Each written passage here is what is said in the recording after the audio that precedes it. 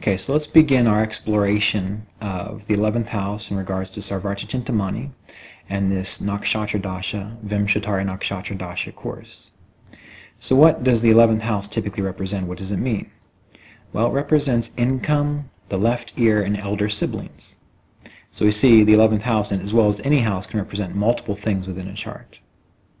And the first statement that Sarvartha Chintamani we read is that if the 11th Lord is in an angle or trine, or if the 11th house is occupied by cruel planets, one gets much income.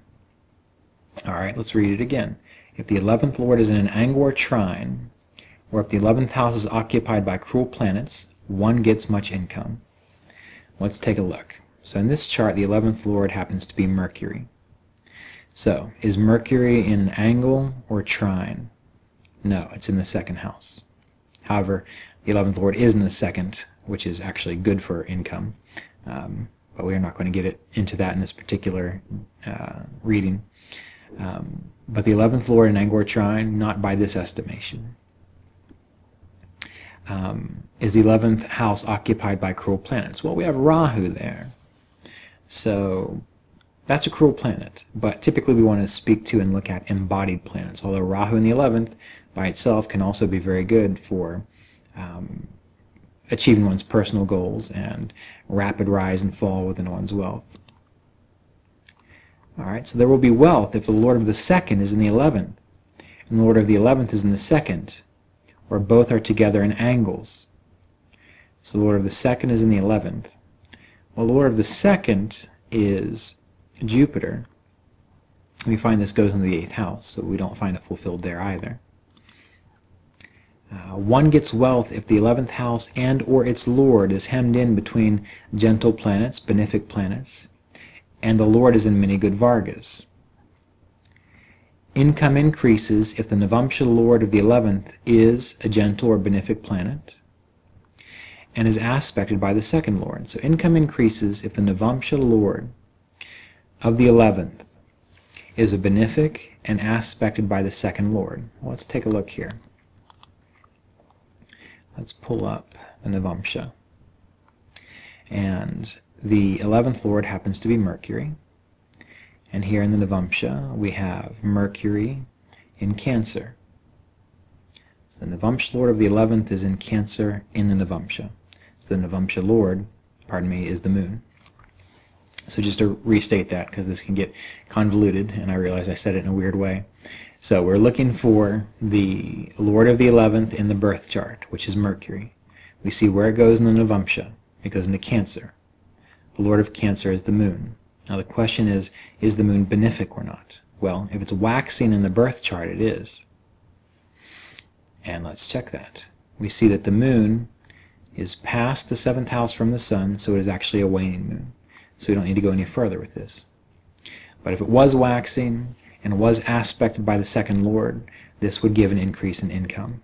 So, so far, this chart's kind of interesting in that it's not necessarily speaking too much in relationship to income based on Sarvartha Chintamani, but there are some other influences here, such as the 11th lord in the second, Rahu in uh, the 11th, which can speak to wealth and income, as well as the 10th lord being in the second, and the ninth lord being in the tenth. So there's numerous things that we have to take into consideration, just like with career. Uh, when it comes to wealth, when it comes to gains, we have to do the same thing with the rest of the birth chart, looking at different points of view as well. Alright, so cruel planets on the 11th house lord show loss of income. We've got Mercury with the Sun. That is combustion, so that will give some difficulty, although we do have the aspect of Jupiter helping. Okay. So we do have some malefic influences here. Cruel planets on the 11th, although Jupiter is going to cancel a lot of that out. Could show loss of income. And what's the loss of income going to come from? But sun-related things, such as problems with authority figures, bosses, you know, arguments and verbal discrepancies with people that they should be listening to or respecting. Um, income can also be shown by the sign placement of the 11th Lord. So the sign placement of the 11th Lord is in Sagittarius. And that deals with things like what? Belief systems, faith, higher education, law, uh, things of this nature.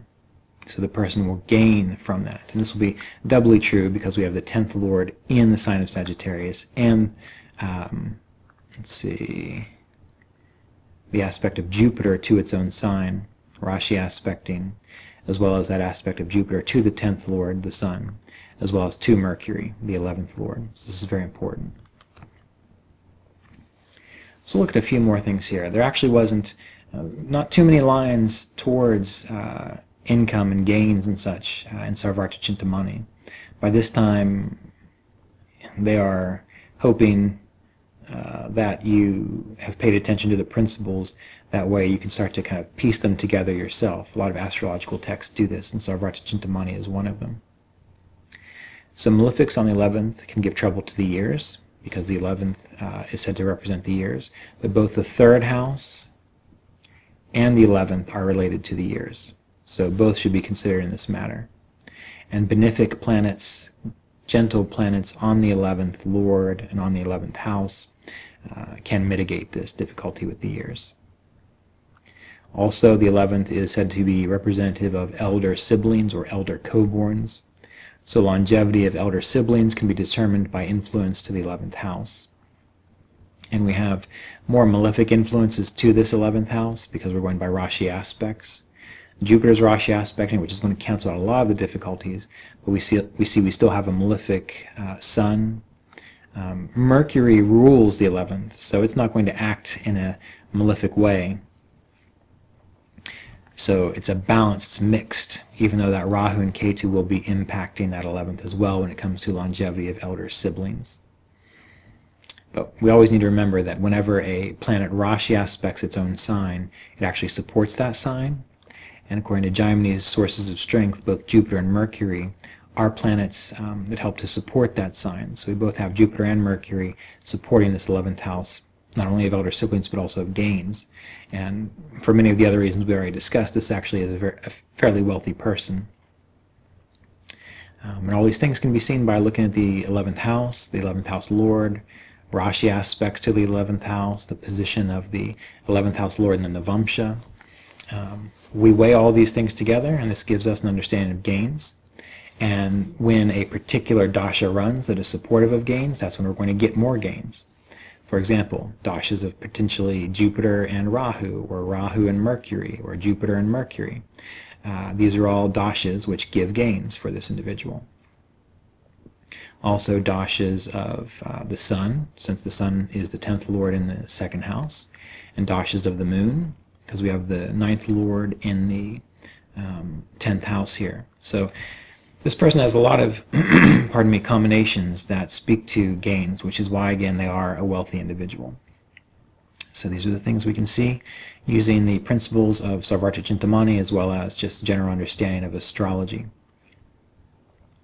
Now next we'll move on to the 12th house.